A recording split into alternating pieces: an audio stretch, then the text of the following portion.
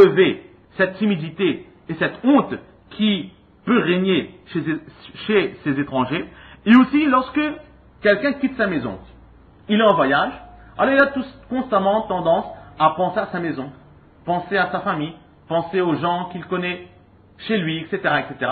Alors il y a comme une petite tristesse qui peut se créer dans le cœur de cette personne. Et par ces mots, marhaba, alors le prophète sallallahu alayhi wa sallam dit, non seulement cet endroit est vaste, considérez-vous comme chez vous, mais considérez-nous comme les gens de chez vous, ou comme les gens de votre famille. Donc exactement, n'ayez pas ce mal-être d'être éloigné de vos connaissances, considérez-nous comme des gens que vous connaissez déjà. De façon à ce qu'ils sont à l'aise, sans aucune gêne, et de cette façon, Inch'Allah, ils pourront acquérir l'enseignement qu'ils sont venus chercher. Donc ça c'était marhaban bil qawm ou bil waft. Ensuite le prophète sallallahu alayhi wa sallam il continue, il dit que ces gens ou cette tribu sont la bienvenue chez nous sans aucun déshonneur et sans aucune tristesse. Pourquoi sans aucun déshonneur. On peut aussi traduire sans aucune honte et sans aucune tristesse. Pourquoi cela? C'est une félicitation que le prophète sallallahu alayhi wa donne aux gens de cette tribu. Pourquoi? Parce que petit à petit l'islam commençait à se propager dans la péninsule arabe.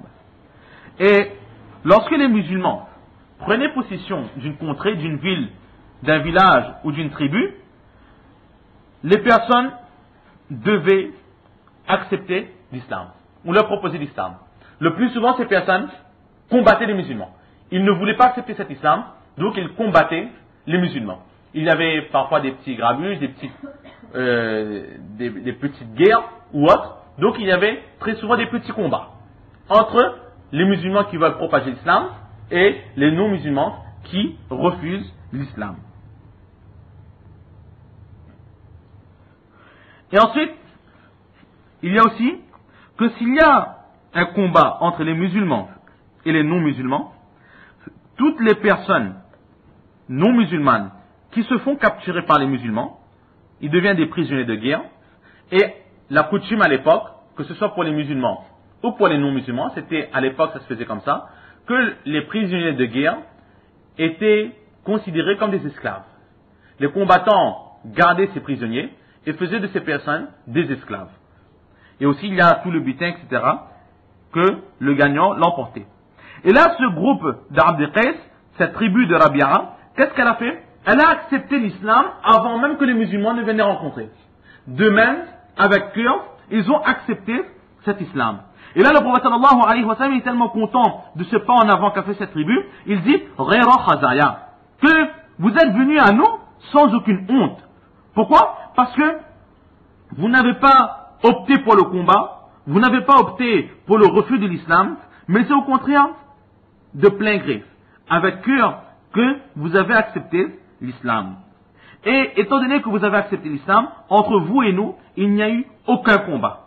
Étant donné qu'il n'y a eu aucun combat, il n'y a eu aucun prisonnier. Donc aucun esclave. Et devenir esclave, c'est une honte. Quelqu'un qui est libre et qui est transformé en un esclave, pour lui, c'est une honte, exactement comme quelqu'un qui est très riche et du jour au lendemain, il se retrouve à la rue. Alors, qu'est-ce qui peut passer de son esprit, de son cœur à ces moments-là, où il se rappelle là où il était, où, il est arrivé aujourd'hui, à la rue, en train de mendier.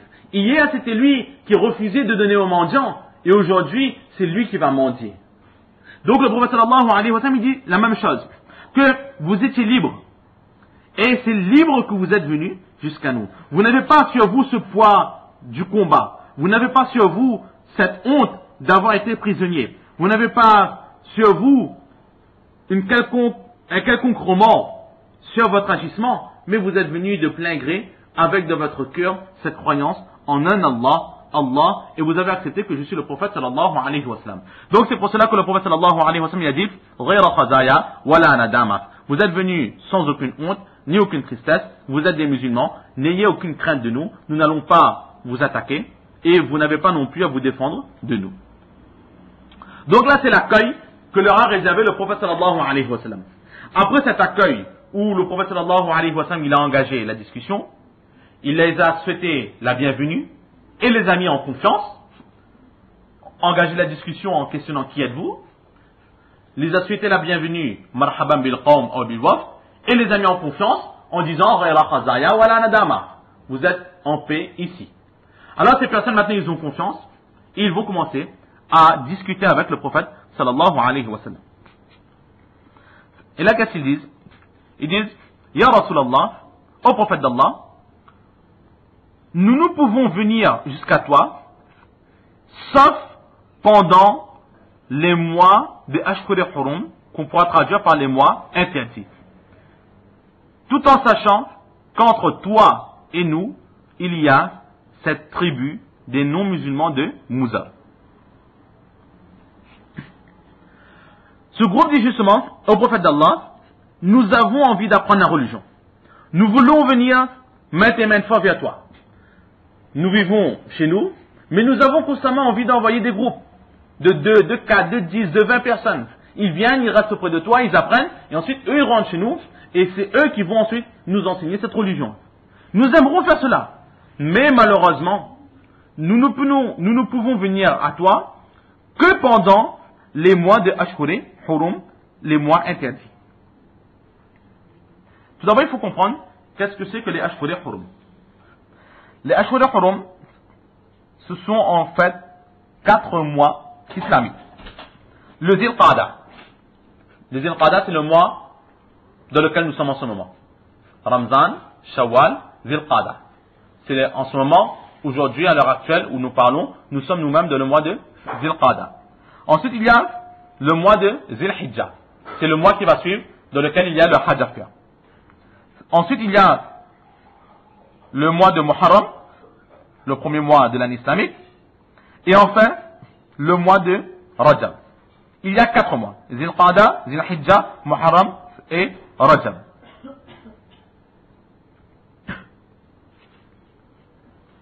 Et d'où viennent ces quatre mois?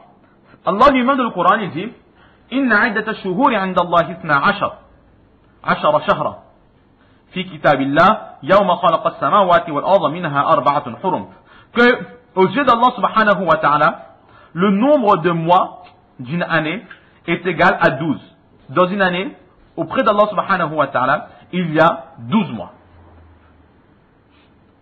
et depuis l'époque où il a créé les cieux, la terre, etc. Et à la fin de ce ayah, Allah subhanahu wa ta'ala dit, et parmi ces douze mois, il y a quatre mois interdits, euh, il y a quatre mois interdits. Pourquoi quatre mois interdits?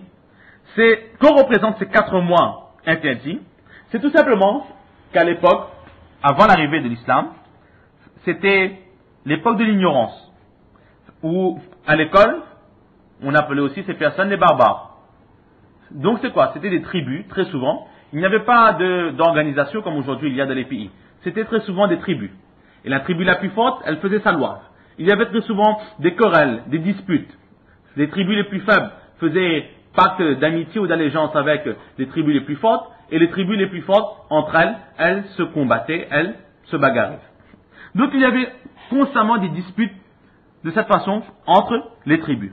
Et nous avions déjà dit aussi que les Arabes, avant même l'arrivée du prophète sallallahu alayhi wa sallam, ils croyaient en Allah subhanahu wa ta'ala. Ils avaient connaissance qu'il y a un Allah, c'est lui qui a tout créé. Ça, ils savaient. Au traité de Hudaybiyah, lorsque les Mécois, ils ont interdit, empêché les musulmans d'entrer à Makkah pour faire leur pèlerinage, il y a eu un traité. À ce moment, le prophète sallallahu alayhi wa sallam, il a ordonné à Hadith Ali radiallahu ta'ala d'écrire sur un parchemin, sur un, d'écrire un pacte, où là il a dit Bismillah ar-Rahman ar-Rahim, je commence au nom d'Allah subhanahu wa ta'ala, le clément, le miséricordieux. Le représentant des Mécois, non musulmans qui était présent, il a dit, un instant. Bismillah, je commence au nom d'Allah, d'accord. Allah, nous aussi on croit en Allah. Mais Rahman et Rahim, ça on ne connaît pas c'est qui? Ces qualités-là, on ne connaît pas. Donc, de ces paroles-là, nous voyons qu'il connaissait déjà qui était Allah subhanahu wa ta'ala. Comment se fait-il qu'il connaissait? Parce que Hazrat Ibrahim il était lui aussi à Makkah. Son fils, lorsqu'ils ont construit la Kaaba, etc. Donc sa religion est restée à Makkah. même si ensuite elle a été falsifiée, elle a été changée. Et ensuite, c'est mais quoi? Ils ont eu en eux ce sentiment d'infériorité, d'incapacité. Ils se sont dit que nous sommes tellement faibles, tellement pécheurs, de quel droit est-ce qu'on peut appeler avec notre langue aussi sale un Dieu qui a tout créé? De quel droit est-ce que nous pouvons nous-mêmes nous prosterner devant un Dieu qui est sans défaut Allah Non, nous sommes trop sales pour cela. Il est mieux que nous nous prosternons vers des, on va dire, des, petites divinités qui sont un peu moins pures qu'Allah, de façon à ce que ces petites divinités, eux, seront satisfaits de nous, étant donné que ce sont eux aussi des divinités, mais ils vont intercéder avec Allah. Donc en fait, nous adorons Allah, mais on peut le faire directement. Donc nous passons par des intermédiaires. Et les intermédiaires, c'était qui? C'était les idoles. Mais en fait, ils croyaient en Allah subhanahu wa ta'ala. Donc, ils croyaient aussi en Allah, et depuis l'époque de Hazrat Ibrahim il y avait aussi le hajj à faire. Et ça, c'était une coutume. Même avant l'arrivée du prophète sallallahu alayhi wa sallam, les Arabes, ils allaient vers le pèlerinage. Mais maintenant, nous revenons au début. Il y a des disputes, des querelles, des conflits entre chaque tribu. Constamment des querelles, constamment des conflits. Et dans leur croyance, il y a aussi le hajj à faire. Maintenant, en état de guerre, comment aller faire le hajj? Comment aller faire le pèlerinage? Donc, ils ont décidé que durant l'année, ben, quatre mois, on ne va pas combattre. Pendant quatre mois, il sera interdit de combattre.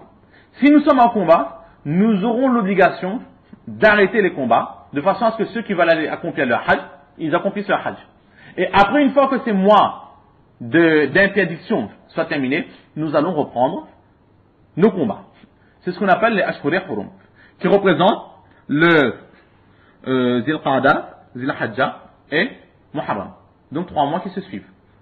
Donc Zil Qada, le temps de se préparer, Zil Hajja, le temps de faire le pèlerinage, et Muharram, peut-être le temps de retourner chez eux. Parce qu'à l'époque, il n'y avait pas de train, il n'y avait pas d'avion, c'était des caravanes, et ils prenaient énormément de temps pour arriver jusqu'à Makkah et retourner chez eux.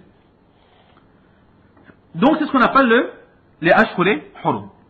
Une petite anecdote, c'est quoi? C'est qu'aussi ils ont fait une erreur. Ils ont, pour montrer comment ils ont falsifié la religion d'Hazrat Ibrahim, le plus souvent, ils étaient en combat. Ils étaient en conflit.